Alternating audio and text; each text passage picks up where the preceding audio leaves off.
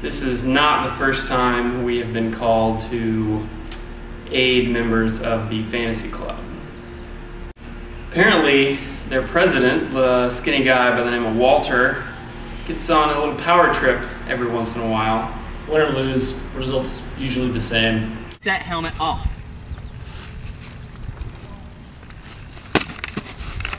Normally, you can find them out the soccer field uh, using weapons, which are uh, generally pool noodles. But uh, evidently, the uh, little Walter kid has a real samurai sword. We've had to commandeer that quite a few times. Very sharp.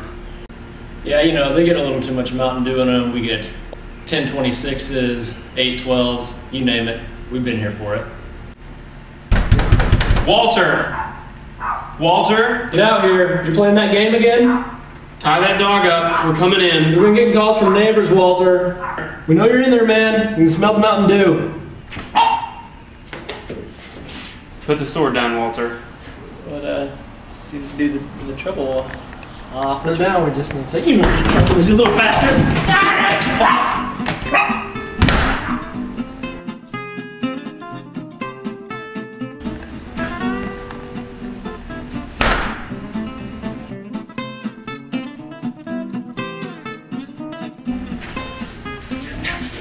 Play with your little friends? Yeah. Yeah? Yeah? Little friends?